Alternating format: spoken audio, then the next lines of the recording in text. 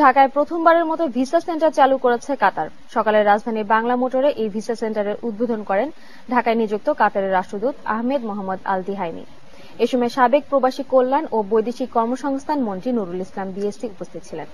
কাতার রাষ্ট্রদূত জানান, কাতার সরকার অভিবাসীদের জন্য প্রয়োজনীয় সুযোগ, সুবিধা ও নিরাপত্তা নিশ্চিত করেছে। এই কার্যক্রমকে আরও এগিয়ে নিতে এই ভিসা সেন্টার গুরুত্বপূর্ণ ভূমিকা রাখবে বলে আশা করেন তিনি। এর ফলে কাতারে অভিবাসন প্রত্যাশীরা এখান থেকে খুব সহজেই ভিসা পাবেন। ভিসা সেন্টারের শারীরিক পরীক্ষা সহ ভিসা তৈরির সব ধরনের সহায়তা দেওয়া হবে। প্রতি রোববার থেকে বৃহস্পতিবার সকাল সাড়ে আটটা থেকে বিকেল সাড়ে চারটা পর্যন্ত ভিসা সেন্টারটি খোলা থাকবে।